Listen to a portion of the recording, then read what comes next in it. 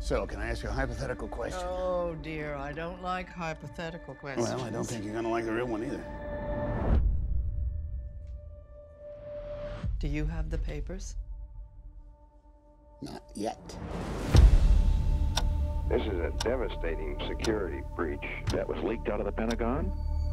The most highly classified documents of the war. The Times has 7,000 pages detailing how the White House has been lying about the Vietnam War for 30 years. The way they lied, those days have to be over. Okay, people are concerned about having a woman in charge of the paper. That she doesn't have the resolve to make the tough choices. Thank you, Arthur, for your frankness. Let's do our jobs. Find those pages. You're talking about exposing years of government secrets. Is that legal? What is it you think we do here for a living, kid? Ben, I might have something. It must be precious cargo. It's just government secrets. The New York Times was barred from publishing any more classified documents dealing with the Vietnam War. If you publish, we'll be at the Supreme Court next week.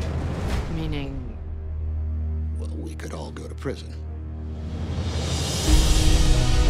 to make this decision, to risk her fortune and the company that's been her entire life. Well, I think that's brave. If the government wins, the Washington Post will cease to exist. If we don't hold them accountable, who will? we can't hold them accountable if we don't have a newspaper.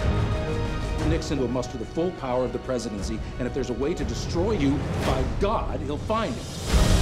I'm asking your advice, Bob, not your permission. She can't do this. The legacy of the company is at stake.